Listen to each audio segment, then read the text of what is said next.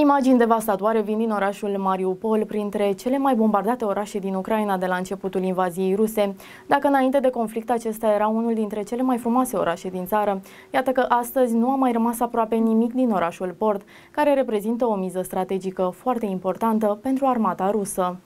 Orașul Mariupol este o ruină după o lună de bombardamente aproape zilnice. Oamenii care au rămas captivi în orașul ruină trăiesc o adevărată dramă. Rămași fără curent electric, fără apă și mâncare, oamenii se îmbolnăvesc pe zi ce trece, iar salvarea lor pare să nu mai vină din nicio parte. Noi imagini arată amploarea dezastrului din orașul port de la Marea Azov, complet încercuit de trupele rusești, blocuri și case distruse de bombardamente, mașini făcute scrum, străzi pustii. La o lună de la începutul invaziei ruse sunt publicate imagini din Mariupol, un oraș în ruine cu cartiere întregi devastate. Președintele Ucrainei a declarat la începutul acestei săptămâni că nu a mai rămas nimic din oraș. Locuitorii din Mariupol se roagă să moară, a declarat Zelensky. Forțele ucrainene continuă să țină piept încercărilor rusești de a cuceri Mariupol, unde se crede că sute de mii de locuitori sunt blocați cu puțină hrană, apă și energie